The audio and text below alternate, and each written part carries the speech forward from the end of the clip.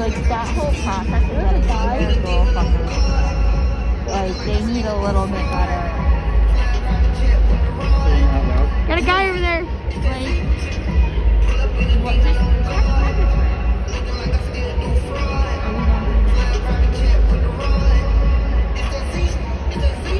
Welcome back to Broad Street. If you yeah. everyone has an enjoyable time, please note the Wells Fargo Center is a non-smoking arena. To avoid injury, be aware of the surroundings at all times. Pucks will occasionally leave the playing area and land in the stands during the course of the game.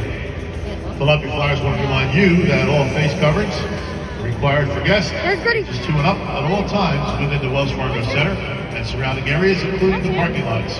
Wait, let's see Lindros. 88 Lindros right there, boys. And secure under the chin, thin against the side of the face, and That's allow him. to remain hands-free. Yeah, where is Gritty's You may remove your face covering while in the seat and after Yeah, I can't find or it. drinking, It's provided you are maintaining appropriate physical distancing. And event staff will be I can't enforcing these policies throughout the game. Any guest not wearing a face covering or wearing a face covering that violates Wells Fargo